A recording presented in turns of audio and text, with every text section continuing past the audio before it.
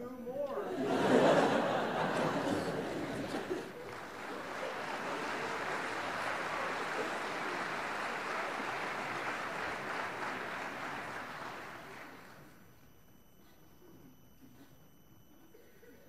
the last one we just did. I invited them to come sing in my funeral.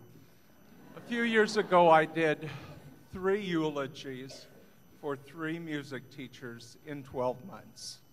And as we drove home, my wife said, Honey, before we get home, we're planning your funeral.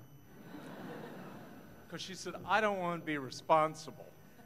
Because she knows I'll get up from the coffin and complain if it's not good. So we're doing that. We're doing since first I saw your face, and then we're ending with the Saints go marching in with balloons and confetti.